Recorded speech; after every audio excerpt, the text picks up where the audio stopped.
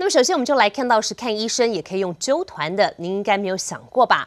这个是在台南市后壁区的市安里民看医生都有专车到府接送，而且呢不花一毛的车资，所有的费用都是由社区的合作社来支付的，也不靠政府来补助。他们是怎么办到的？我们带您快了解。来，咱服务车来啊，来，来，咱妈妈上车来，来，谢谢哦，来。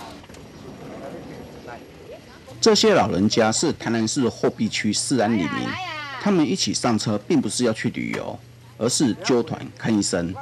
有诶就来遐看目睭，啊有诶来看扫诶，啊有诶看迄个心脏科诶，吼，啊有诶看目肚疼诶。到啊！每个人的症状不一样，看的医师也不同。如何纠团跑诊所呢？原来这部车是里长廖玉亮自费购买的医疗专车，免费提供给李明使用。只要一通电话预约，专车就会到府接送。唔免去请车啦，无方便啦，阮装卡车无方便啦。哦，啊，拄啊，你也赶快电话甲叫伊吼，伊伊就来甲咱载啦。安尼安尼是毋是足好诶？吼，对一阵头上像遮好无啦。呃，当初看着阮爸爸，因为迄阵我拢爱来载去中间，啊，咧咧一去就爱半工，所以讲我咧相信讲，若是若因若如果若身体无爽快，要叫实习，请假我请假半工，所以讲因也毋敢靠实习，啊，我拖拖拖变大病。曾经有过照顾亲人的体验，更加能够感同身受老人家看病的需求。但是要维持这样一个社区福利，背后资金的需求也不少。绝非一个里长的薪水能够支撑的。穷则变，变则通。廖玉亮想出一个绝妙的点子。我嘛是因为里长啊，要靠外来一直按捐款嘛，毋是久长，是毋是咱家己来做一个社区的经济？啊，社区经济就讲大家集思广益，啊，无来成立一个咱的合作社，开放认股，伊一个一百块，啊，来互咱社区的人来认购，啊，来做了我们自己的社区品牌米，以台梗九号为主轴。啊，以无毒方式去去去栽种嘛，号召李民共同集资成立合作社，再运用这笔资金与农民契作，栽种不含化学肥料的无毒米，利用网络行销的方式，创造出三赢的局面。哦，第一个，咱的诶耕作农民吼，伊得也增加收入，哎呀，增加收入了，啊末端去食到无毒的米。啊，阮是一个平台，阮买当赚到一点，会使来做咱社区内底福利。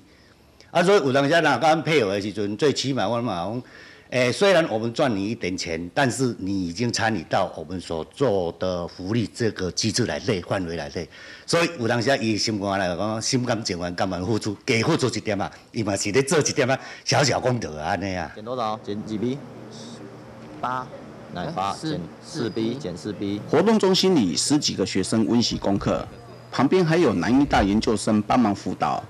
这些热心的大学生也是从网络上看到四安合作社的经营理念，主动投入社区营造。晚上则是利用闲余时间，免费帮忙辅导学童的功课。那我觉得来这边之后，他们接触我们之后。可能一个晚上可能教个两三题而已，可是这两三题，我至少我们发现这两三题在他考试的时候不会发生错误。如果像这个村子的话，他其实到都市是有段距离的，所以他可能也没办法去补习，他有问题的话也不知道问谁。那那时候想说，哎，如果自己有这能力的话，好像可以来为社区做一些这样的服务。这样，村子里的小朋友其实他们只是没有一个地方可以去问问题，和一个地方可以和大家一起念书。因为念书这种东西，其实真的是会有感染的，会有因为一种氛围。要人口老化在现今的农业社区里是很普遍的情形，但是虽然你在里长廖玉亮积极改变下，号召集资成立合作社，建立自给自足的共同经济体，创造利润来支持社区福利，而且还吸引许多年轻人回乡帮忙，让老化的四安农村注入不少新的活力。成立合作社并不是为了赚钱，而是凝聚社区的能量。大家有钱出钱，有力出力，爱心摆第一。老吾老以及人之老，幼吾幼以及人之幼，这样的大同精神在思安里展现无疑。民事新闻林俊敏，台南市报道。